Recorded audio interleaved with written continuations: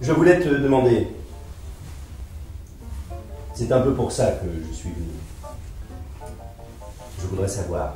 Je te dis, c'est rien qu'on puisse euh, dire. Rien dont il soit permis de parler. Allons, vas-y. Eh bien, c'est juste des mots.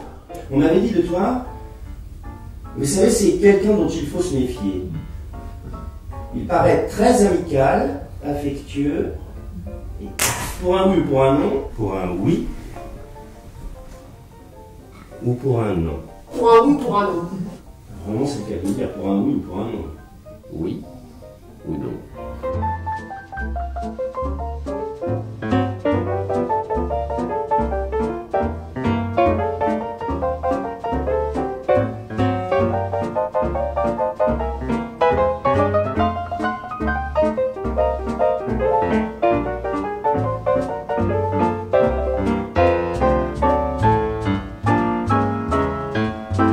Oui.